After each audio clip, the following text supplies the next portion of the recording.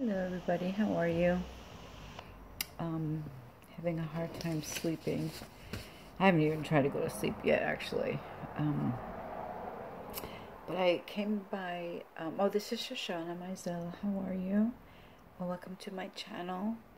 Um, I started this channel for belly dance, but it has turned into um, other passions of mine, like my artwork, uh, family joy, and now uh, my poetry. this is a poem I wrote um, going through quite a painful divorce back in 2009. And uh, yes, these poems were written by me, Shoshana Mizell, and this particular one was actually February 24th, 2009. And the name of this poem is We Thought. It's very short. Morning whispers the soulful birth of their love as Ra's sun casts shadows across sand's time. Dawn preys upon apathy's inertia as an aching moon sleeps this night, and they close their eyes on future's promise. And um, the next one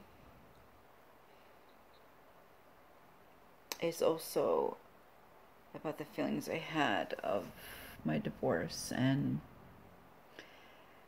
just how much I fooled myself and really um, based what I thought love was on um, maybe just being enamored by somebody. But it's okay because it got me to where I am today. The next one is called Soul's Thief. Soul's Thief. The heart's intentions, burrowing compassion's light. Dark passions lead beneath the humble hearts with surging regretful flight. Knowledge passes through the heart, escaping from our soul's sight. And the next poem I have here, ah, this one I wrote in 2007. This is was in memory of my mother who took her own life. Um, I believe it was July 22nd. 1976. I was about seven, eight years old. Um, in memory of Constance Rifkind, my mom. And only her memory cascades, asunder chanting, raving magic thoughts. Her raven hair waltzes across her face. Evil so subtle and indistinct measures at only her brow. Such a mysterious notion, suicide. Storms of all the worlds and planet, planets pulse inside her, swelling every internal barrier. Hope was full and gushing. She can't feel it. Life is shining brightly.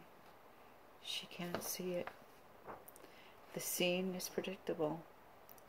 Every galaxy, core, sigh, pebble, snowflake, crystal click of celebration hold its breath, immovable till release, frozen till warm tears flow. Then it happens. Death takes life by the hand and pulls, pulls with, with such ferocious lust. And the world continues to be a question with no answer, an orphan philosophy. Um, okay. Hmm, this one is a good one. This one I wrote in um, 2009 as well. And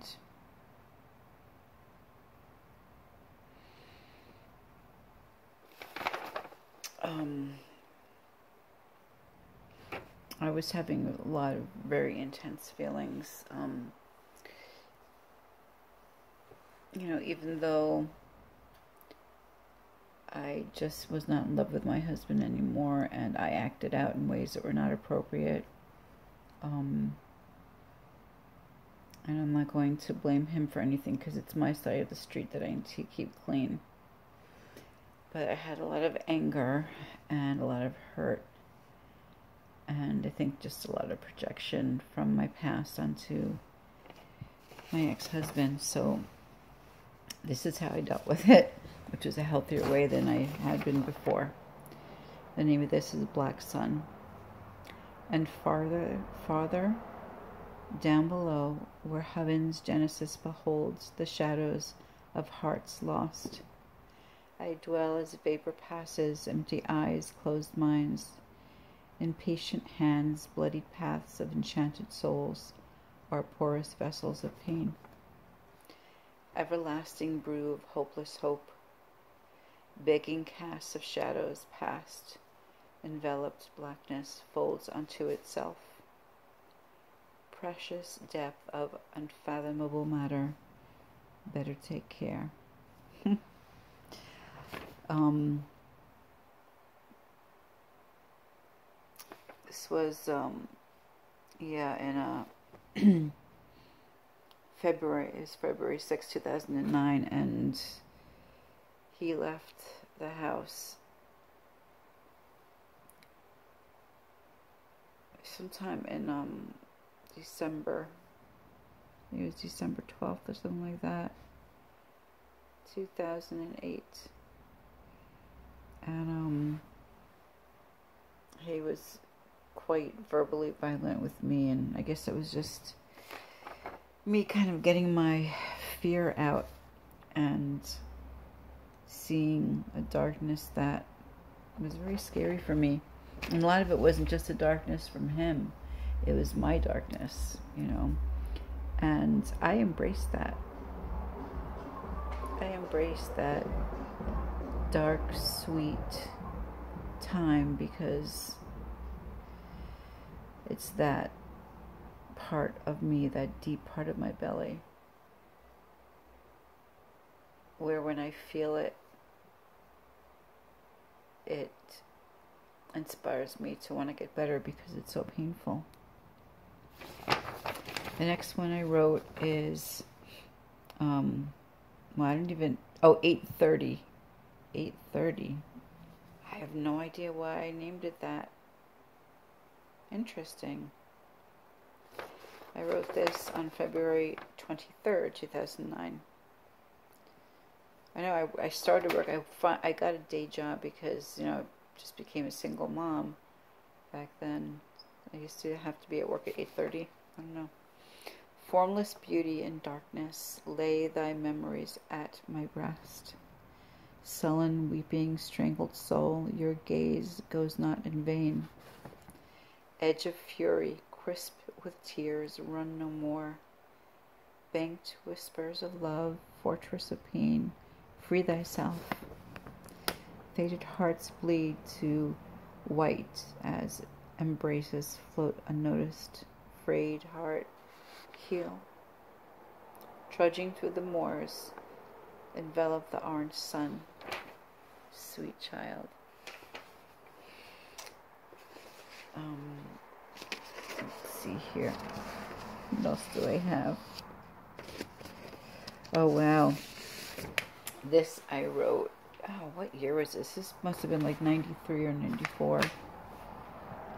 And um, I was dealing with untreated PTSD, anxiety disorder, panic attacks. Um, well, I always had a constant fear that I would kill myself like my mother. So, you know, back then, I, am so grateful that I discovered writing and uh, I didn't paint like I paint now, but I drew. It was like the one thing that kept me alive. And um, I named this poem Molly. Out on the cold iron bars, Molly shuffled her thoughts of ending another day. If only she could be sure they'd miss her. she would have marched the air like a brave soldier. As her fingers itched her swollen belly, she licked a bitter tear and retreated back into the house. She waited by the fire another day to pass. That's sad. I really felt that way though. I don't feel that way today at all. Yeah, um, I'm going to read two more poems. And, you know, if you like my poems, you can listen to them as much as you want. You don't have to listen to them all at once. You can just, you know, go to the video wherever it is. okay, this one I wrote, um, it says here 1993, but I don't think that's when it was. I think it was 2009 or 10. And um, I guess this was my fantasy of the kind of